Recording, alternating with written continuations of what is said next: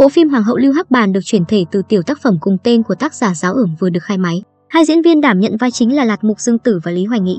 Tuy nhiên, thái độ lạnh lùng, không mấy vui vẻ của nam diễn viên Lý Hoài Nghị lại trở thành tâm điểm bàn tán của cư dân mạng. Không hiểu nguyên nhân vì sao Lý Hoài Nghị lại tỏ ra khó chịu, cố ý nghiêng người né tránh nữ chính khi cả đoàn làm phim chụp ảnh với nhau.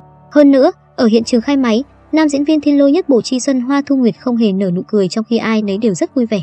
Netizen nhận xét nam diễn viên tỏ ra lạnh nhạt, xa cách nữ chính Lạt Mục Dương Tử. Suốt quá trình chụp ảnh Trung Anh đều giữ vẻ mặt lạnh băng, thậm chí có chút khó chịu, né tránh bạn diễn. Chính vì thái độ này khiến Lý Hoài Nghị vấp phải không ít tranh cãi. Nhiều cư dân mạng cho rằng dù sao cũng là buổi lễ khai máy của phim, tham gia hoạt động chung mà có vẻ mặt như bánh đa ngâm nước thể hiện sự thiếu chuyên nghiệp trong công việc. Thậm chí, có một số người còn ca khịa Lý Hoài Nghị có lẽ muốn trở thành Kim Jong Hyun phiên bản Trung Quốc. Bình luận của netizen Việt, ai cũng vui trừ nam chính.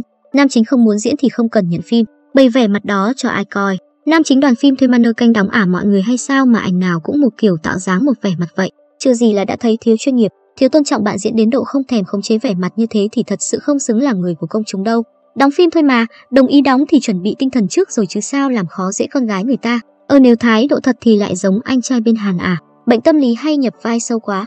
Chọn diễn viên nữ sát hình tượng trong nguyên tắc phết, vì trong nguyên tắc miêu tả là người thô, không có eo, còn đen nữa, ăn nhiều, thích ăn thịt xào ớt hay sao ấy.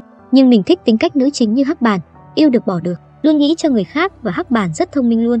Lý Hoài Nghị sinh năm 1998, là Mỹ Nam nổi tiếng qua các phim thanh xuân của ai không mơ màng, ác ma thiếu gia đừng hôn tôi, thiên lôi nhất bộ chi sân hoa thu nguyệt, đếm ngược thời gian để gặp em, đứng cạnh đàn chị hơn 3 tuổi lạt mục dương tử. Lý Hoài Nghị được nhận xét đẹp hơn nữ chính với ngoại hình mảnh mai, gương mặt thanh tú. Nữ chính có nhan sắc tầm trung, tạo hình già dặn, tuy không có dáng vẻ thường thấy của các nữ chính phim ngôn tình thần tượng. Lạt Mục Dương Tử được nhận xét phù hợp với hình tượng hoàng hậu mập mạp hài hước trong tiểu thuyết gốc. Khán giả khen ngợi đoàn phim cắt tinh có tâm vì ngoại hình nam nữ chính như vậy mới đúng với miêu tả trong tiểu thuyết gốc. Lạt Mục Dương Tử sẽ vào vai Lưu Kim Phượng, một cô gái có tính cách hài hước ưa làm lố, ngoại hình vừa mập mạp vừa đen đúa, vô tình vào cung trở thành hoàng hậu. Lý Hoài Nghị đóng vai Đoàn Văn Trướng, vị hoàng đế trẻ tuổi ngoài lạnh trong nóng. Đây là bộ phim hài ngọt ngào hứa hẹn mang đến nhiều tiếng cười cho khán giả.